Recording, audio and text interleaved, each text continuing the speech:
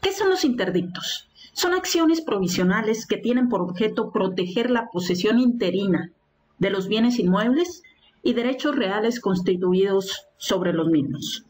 Al proteger la posesión interina, se concede tanto al que tiene la posesión originaria como al que tiene la posesión derivada, que puede ser, por ejemplo, un arrendatario, un depositario, un acreedor pignoraticio, etc.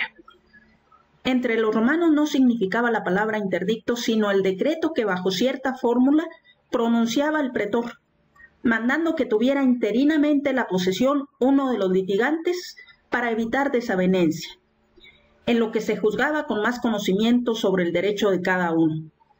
Sentencia interim dicta.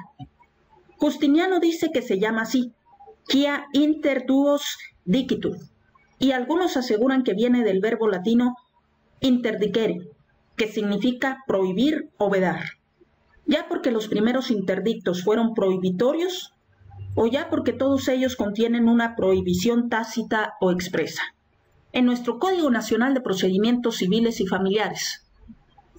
Tenemos cuatro interdictos. El interdicto de retener la posesión, con el objeto de evitar que me despojen de ese bien inmueble. El interdicto de recuperar la posesión, cuando ya he sido privado de la posesión de ese bien.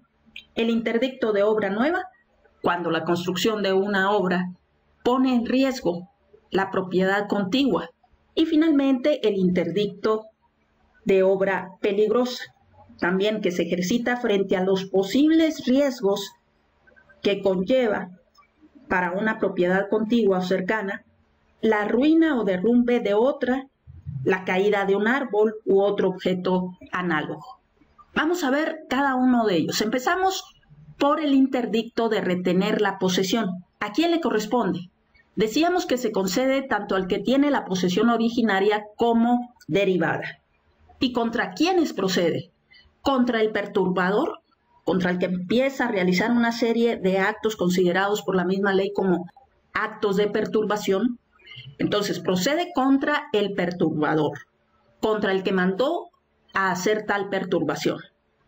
También al que a sabiendas y directamente se aproveche de tal perturbación quienes resultan beneficiados con esos actos de perturbación en contra del poseedor, sea originario o derivado. Y también puede ser contra la sucesora de la despojante.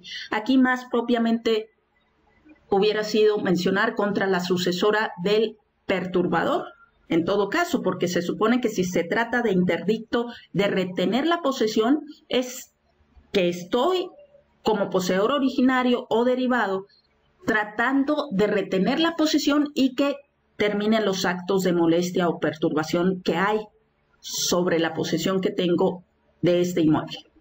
Y precisamente ese es el objeto de este interdicto, poner término a la perturbación, indemnizar a la poseedora y que la parte condenada garantice no volver a perturbar. ¿Qué considera la ley como perturbación? todos aquellos actos preparatorios tendientes directamente a la usurpación violenta o a impedir el ejercicio del derecho. Se puede hacer valer dentro de un año a partir de los actos eh, perturbatorios y es necesario para que se pueda ejercitar que la persona poseedora, quien está poseyendo el bien, no haya obtenido la posesión de la contraria.